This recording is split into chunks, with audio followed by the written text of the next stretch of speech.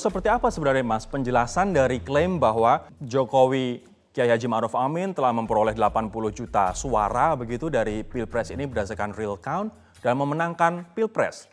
Apa kemudian dasarnya, apa kemudian yang membuat masyarakat harus percaya terkait dengan hal ini?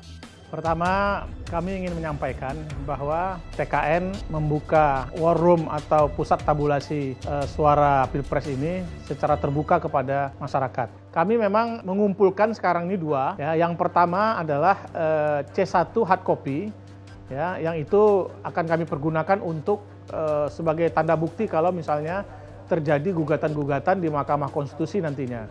Hmm. Nah, sementara uh, selain hard copy, kami juga menerima dari saksi-saksi kami di seluruh Indonesia soft copy dalam bentuk foto C1. Nah, yang kami entry ke dalam